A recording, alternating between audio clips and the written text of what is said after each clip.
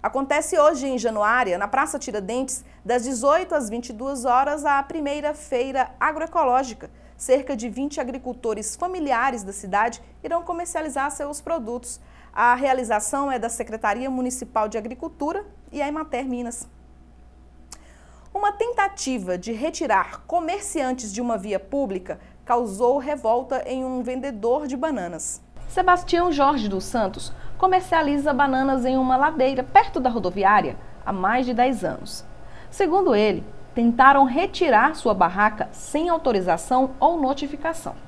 Eu sou autorizado, eles autorizou para mim essas barracas para poder trabalhar, a Secretaria de Agricultura. E aí quando eu cheguei, estava quebrando aqui, quebrando essa aqui e quebrando essa daqui de trás também, essa outra barraca. E aí eu fui, eu fui falar com eles aí e, e peguei minha barraca de volta e coloquei no, no, lugar, no lugar de novo ali. Só que a lei tem que ser, a Januária não oferece trabalho para ninguém. Então a lei tem que ser para todo mundo, entendeu? A lei não pode ser nem para um nem para dois. São todos estão errados, trabalhando errado, então, mas todo mundo está trabalhando errado na cidade, certo? É, várias barracas na rua, então se é para punir um, vão punir todo mundo, então não pune nenhum, entendeu? Então é o, se é o direito, se é o direito deles vir fazer isso aí, eles têm que vir notificar a gente primeiro, eles têm que vir notificar a gente primeiro, para depois ele tomar essa atitude que eles, que estão mal aí. Revoltado com a situação, o comerciante faz um apelo. Deixa nós, deixa nós trabalhar quieto no nosso canto. E se a lei é, é, é para um, tem que ser para todos. Não é meia pedra e meia tijolo, entendeu? Da mesma forma que eu trabalho irregular, já não é todo trabalho irregular. Aí esse que botar naquele sol quente lá, Lá, lá, não tem condições nenhuma, estrutura nenhuma. As meninas lá, tem duas meninas que estão trabalhando lá, que não estão vendendo uma caixa de banana por dia. Entendeu? E se for para mim sair daqui, que igual quer que eu vou sair daqui, eu vou ter que ir embora para São Paulo, infelizmente. O local de destino para estes comerciantes é aqui no estacionamento da Ceasa, ao lado da rodoviária. Já temos alguns comerciantes por aqui e, segundo eles, o faturamento caiu muito. A gente trabalhava na rodoviária velha, lá era muito bom, tinha cliente, dava para vender as bananas tudo. E agora a gente está vendendo nada. Inclusive eu já perdi várias caixas de banana, né? A gente tem filho para dar comida e tudo. A vizinha já foi roubada duas vezes. E aí a gente pede um apelo para o prefeito, o que, é que ele pode fazer por nós. Porque a gente tem filho pequeno para criar, né? A gente tem que ver o que, é que ele vai fazer por a gente aqui. Procuramos o secretário municipal de Agricultura, Antônio Cunha, o Tonheira, para explicar a situação. É, lá, na verdade, o secretário da Agricultura são nós lá, que faz parte da, do SEASA, das feiras. E lá no lugar que ele estava é, usando, o fiscal de obra foi notificar eles, todos eles, para mudança lá para o SEASA, onde é o estacionamento, para eles mudarem para lá. Ele fala que não foi notificado ele. Como os da rodoviária velha também foi notificado, todos eles já, já estão com seus pontos, alguns que já compraram até seu lugar de, de montar seu comércio.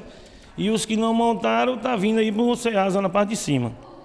Nós já estamos fazendo os orçamentos tudo de reforma para funcionar tudo lá dentro do CEASA. A Secretaria de Agricultura também vai funcionar lá de novo lá dentro. Então nós estamos lá para ajudar eles para eles voltar a fazer seu movimento de venda e tudo dentro da, da, da do SEASA.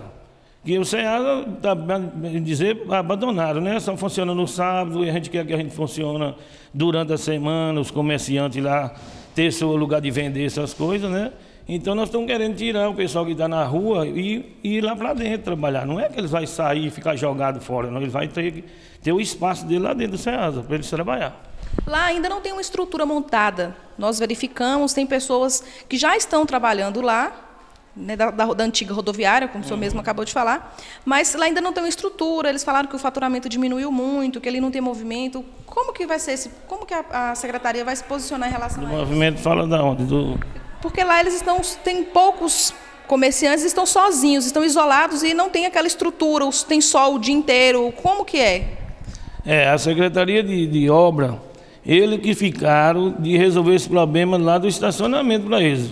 Chumbar as barracas deles, ver a cobertura para resolver lá. Isso daí já foi o pessoal da Secretaria de Obras, do fiscal.